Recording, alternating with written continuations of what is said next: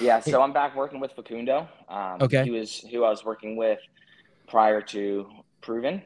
Um, the relationship that we had and the communication we had was was incredible.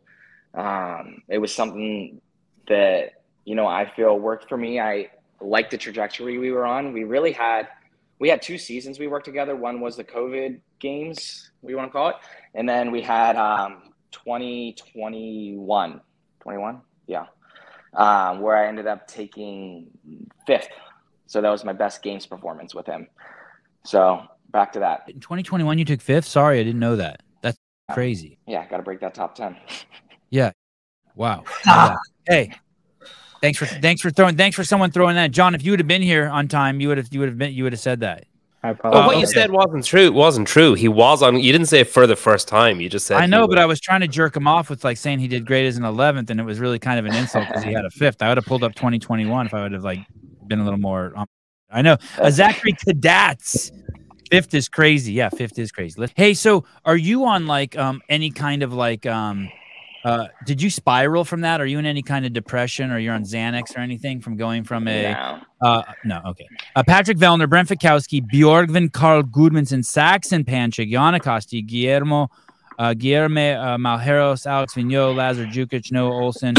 Scott, you beat the great Scott Panchik by 100%. Yeah. I think He was at, I leg. think he was at 50 he was at 50%. How does the conversation in, initiate back with Facundo? Like, do you go back and say, "Hey, sorry, I messed up. Like, can we?" Or like, does he approach you? How does that happen?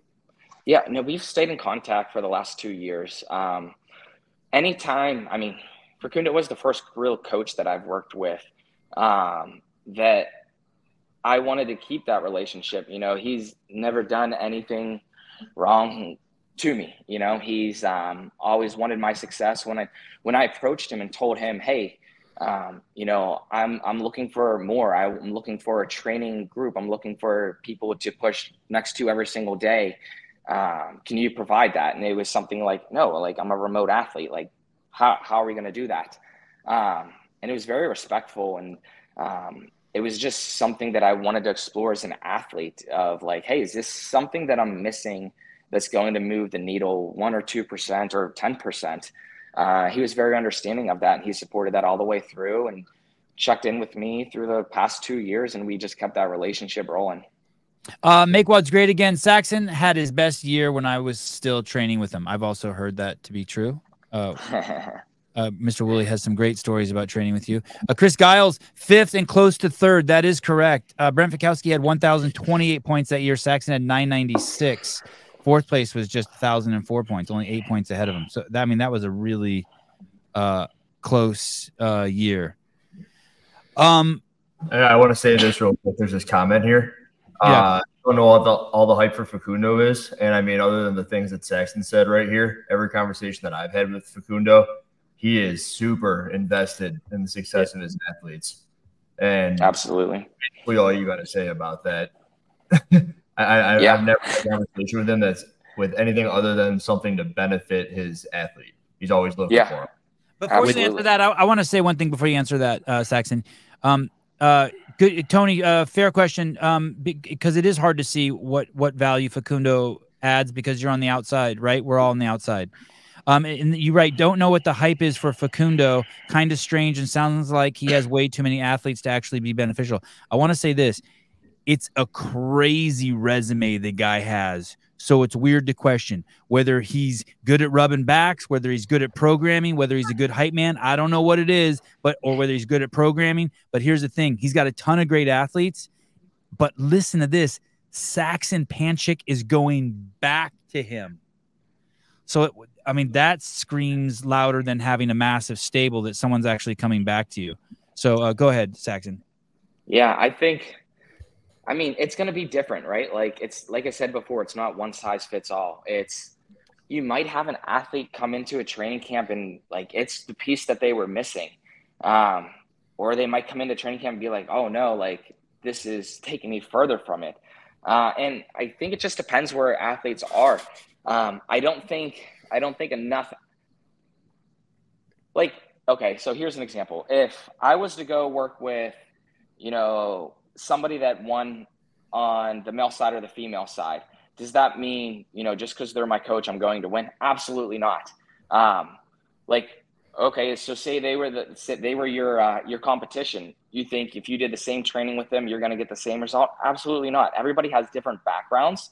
Um, you know, you might be great at gymnastics and running and monostructural things, um, but you know, you step up to a barbell and you can't move the barbell. You know, just because you're working with somebody that won the games or a coach that has created a you know one-time champ two-time champ doesn't mean that that's what's going to be good for you. And i think it just depends. Um, i think athletes need to look and see okay what am i missing? Like what have i changed and what have i tried and what worked and what didn't work? And i just i think i think it's important for athletes to be honest with themselves and figure out what that missing piece is and, and be willing to try different things um, who was your coach there? Who was your coach at Proven? It was Shane. And and did you see him a lot? When they lived here, yeah.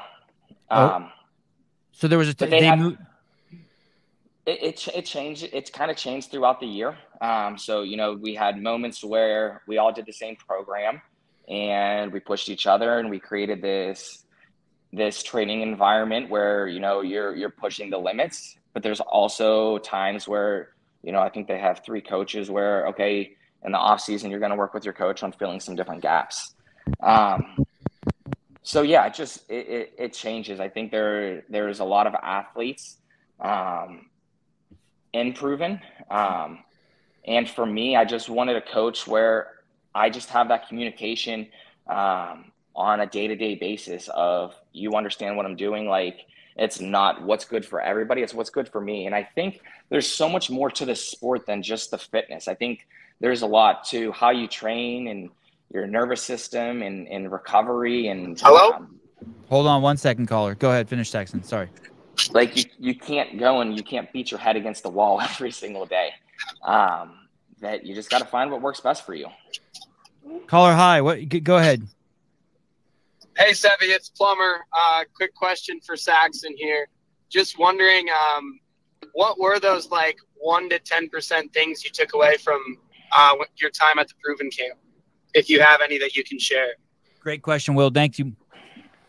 Yeah, um, honestly, you know, this is gonna sound crazy, but I think the one thing that I picked up on um, was more than just fitness. It was it was the ability to grow mentally, to read, to seek to seek more. Um, I think that was something that I was actually missing in my life to grow as an athlete as well as a man. Um, that you know, I started to explore. Okay, how do I move into a direction of of confidence in my training, um, confidence in my ability, and com- confidence to to take the competition floor. Um, that's something that I faced a lot through my career. You know, where I spent my first three years um, going to regionals, and did I feel like I belonged there? You know? Um, and I felt like I was able to gain that knowledge and that confidence of like, okay, this is how you take the competition floor with confidence and the ability to back your fitness and the ability to back yourself.